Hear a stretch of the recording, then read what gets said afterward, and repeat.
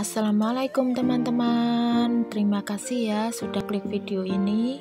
Di video kali ini saya mau memasak menu vegetarian Yaitu tahu sop tomat ya.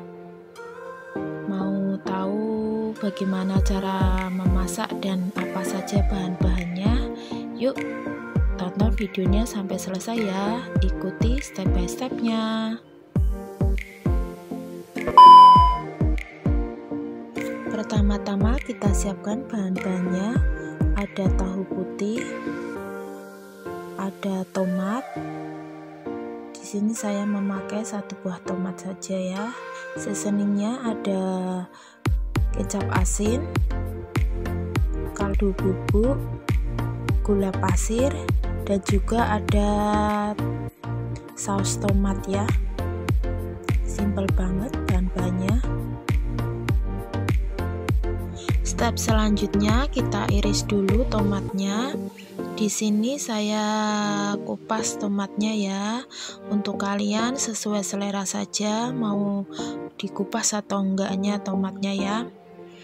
Biasanya saya kalau mengupas tomat saya steam dulu tomatnya selama sekitar 2 menitan biar lebih gampang kulitnya saat dikupas ya Kalian bisa cek di video saya yang lainnya bagaimana cara biar lebih gampang untuk mengupas tomat ya. Kalian cek saja video saya. Iris tomat sesuai selera kalian, iris juga tahu putihnya. Yuk kita lanjut memasak. Kita siapkan teflon dan kasih sedikit minyak. Kita panaskan kompor. Setelah minyak panas, kita masukkan tomat yang sudah kita iris tadi. Kita aduk-aduk.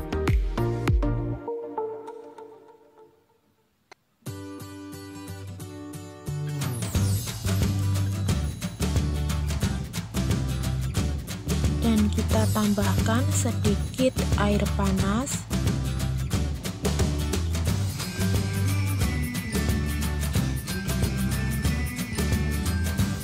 kita tambahkan juga saus tomatnya. Kita aduk-aduk kembali.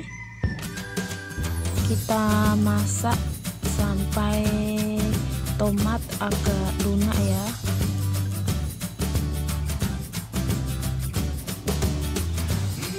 Kita tambahkan kaldu bubuk dan gula pasir secukupnya aduk-aduk kembali. Untuk tomatnya kalian bisa dihancurkan atau enggak sesuai selera ya. Setelah tomat lumayan matang kita masukkan tahu putih yang sudah kita iris tadi. Kita masukkan kita aduk pelan-pelan ya biar tidak hancur tahunya kita tambahkan juga sedikit kecap asin ya. Untuk takaran bumbunya kalian kira-kira saja ya seberapa banyak bahan yang ingin kalian masak. Jadi untuk takaran bumbunya juga kalian kira-kira ya.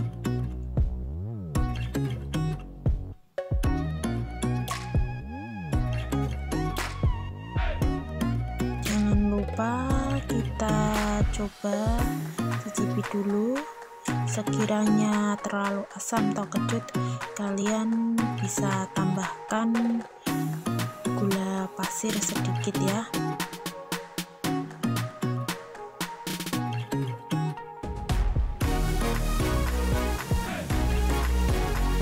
Kita masak kira-kira sampai tahu matang dan dan tomatnya tuh meresap ya ini kita masak sebentar saja.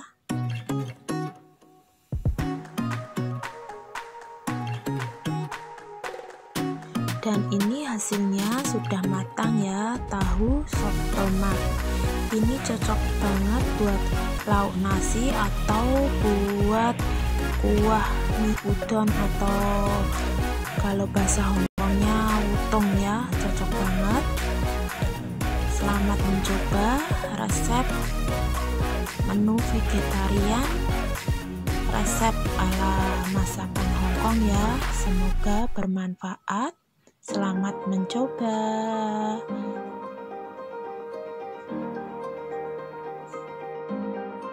Terima kasih buat kalian yang sudah menonton video ini sampai selesai.